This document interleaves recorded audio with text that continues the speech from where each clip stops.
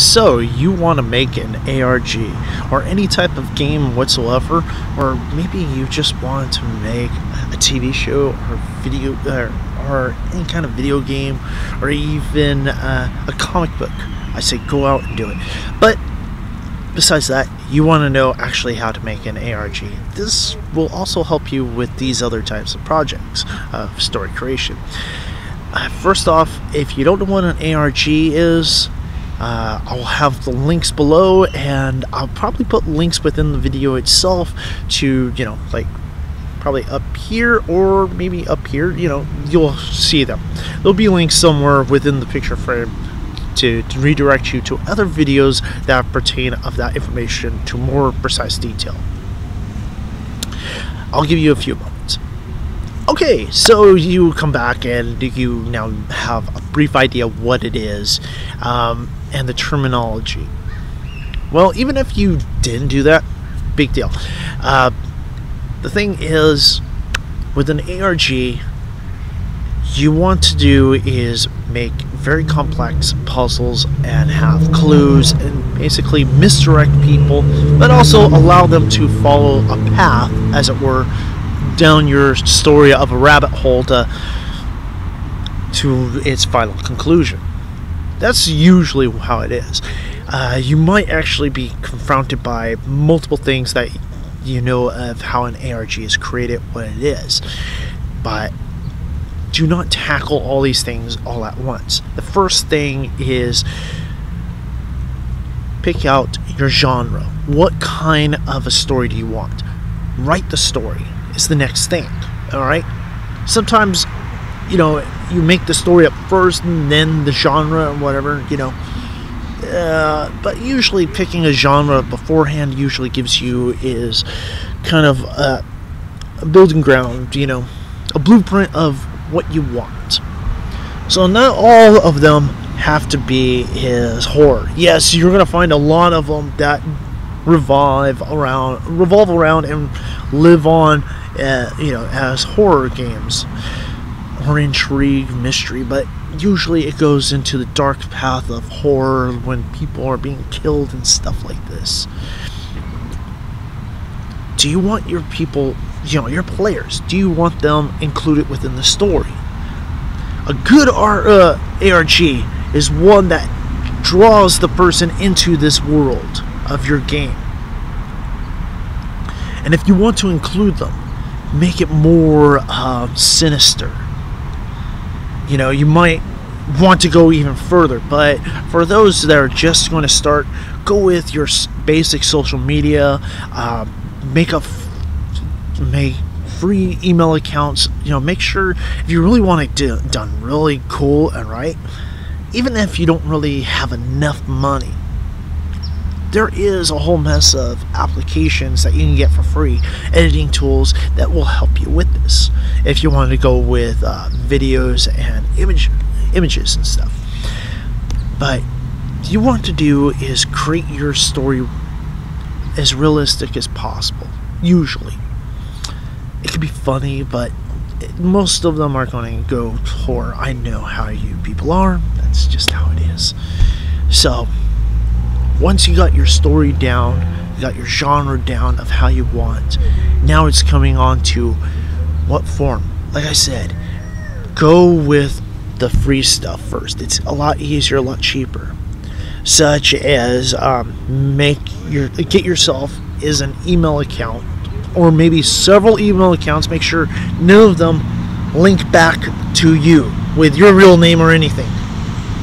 I know um, if you do this, you're not going to make any money because it's more of a a game for fucking with people, and it's a it's a passion. It's not really meant to do is make you money. But if you want something to make you money, then go ahead and probably on your main channel specifying that it is a game, or tell you know somewhere in mid game tell them you know this is a game, but don't put it on the channel or the sites that actually pertain it. You just have like let's say your YouTube channel specifying a video saying this is my game project. You can look at these, you know, all this stuff. This is just a hit sheet, so you know you can do that. That's if somebody does follow your stuff and finds out and actually digs deeper and knows it's a game. But if you want it not a game, get dummy email accounts. And with those dummy email accounts, create social media platform accounts, such as uh, each one of them a Facebook account, uh, or anything that's uh, like Facebook, MySpace, uh, you know, go in other social media sites as well. Uh, you know, Tumblr. Yeah, why not? Why not have an ARG that just revolves within Tumblr? Have multiple Tumblr pages, all interlinked with you know, just to fuck with people. You know, different Tumblr accounts and whatever from different email accounts, and each one of them has multiple Tumblr accounts, and just put random weird ass you know posts and pictures. You know, just to mess with people. And if you're going to do it on YouTube, if you want to do uh, really creepy videos, uh, do that. Make it as bizarre and unique as possible. Don't need. I, I don't suggest you doing is advertising it. No, you don't really need to do that because people that are looking for crazy weird ass shit, they'll find it. And if you want people to really link into this, like if you want noobs, then probably put like uh, uh, you know your tags such as just you know I don't know. You know but if you want people to know it's a game then just put ARG you know as the tag or whatever. Game and all this other shit. But making it just weird people will find the crazy weird shit out there. They will. That's kind of what the dark side of YouTube is. It's kind of hidden, but eh, people do find it. They do run across this crazy ass shit. Uh, have your titles of your videos be very uh, uh, like cryptic or just bizarre nature or even just a mundane title but have within the image of the video itself very bizarre, strange, um, have hidden, you know, images, you know, like people actually have to look into it and stop it and see, let's say there's a number behind them or a series or whatever, or they're able to do is download the video and look at the chroma of the, you know, just change the values from frame to frame of. Um, color values. Because you can actually do this and fuck with the whole entire video before you upload it you know? Just use all these uh, different video editors fuck with the image. Another thing that no one ever does I'll probably tell you later but uh, this is going to be within my ARG, but I don't know if I'm actually going to physically create it yet. For me, I'm going to do is uh, continue the story out into my manga that this ARG is going to be in. But yeah, it's just going to be some random little piece I'll make. But I know I'm going to make a manga out of it. Anyways, you don't have to do that uh, if you don't want to.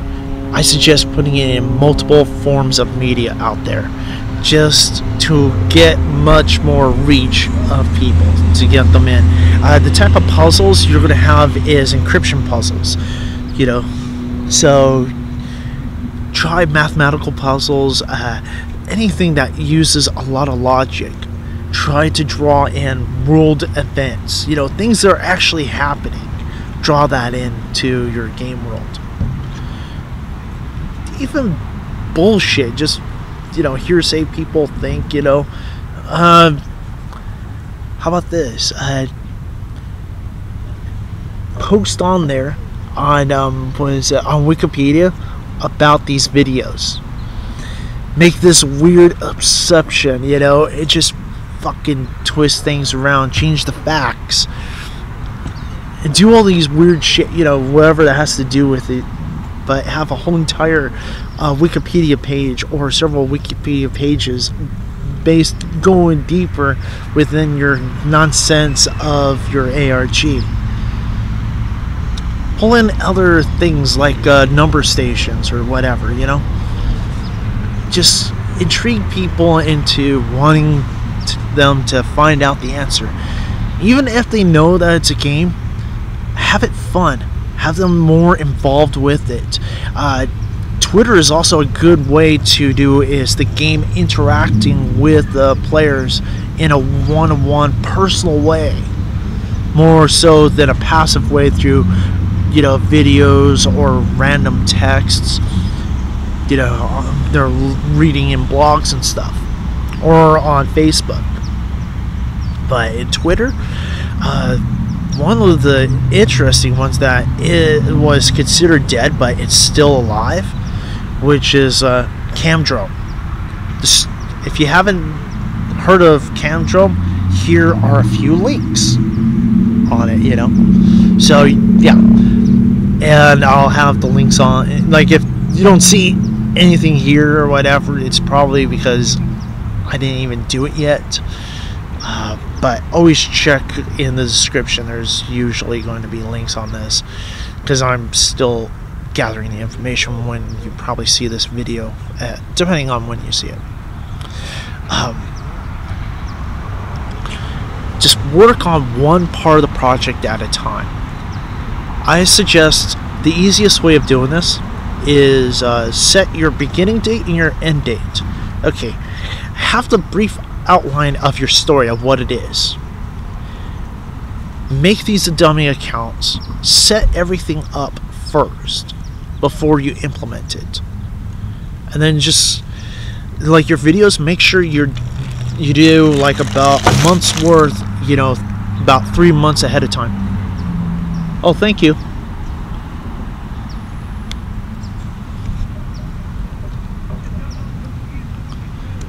and uh,